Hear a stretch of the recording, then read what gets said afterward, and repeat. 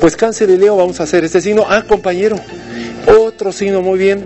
La luna en Capricornio, Plutón está ahí, la fortuna está ahí. Por cierto, en esa casa 4 para ellos significaría el hogar, la familia, el patrimonio, relaciones afectivas, percepciones. Hay un escorpión que viene algo muy importante para ellos, ¿verdad? El compañero más sensible. Entonces, no se distraiga, tiene que haber mucha oportunidad en su familia, en sus derechos, en su vida emocional y la fortuna está relacionada a la propia familia.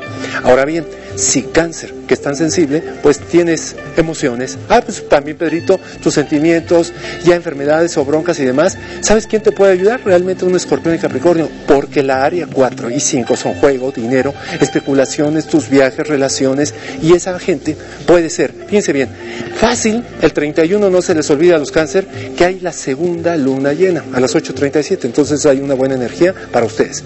Bueno, allá, después de cáncer está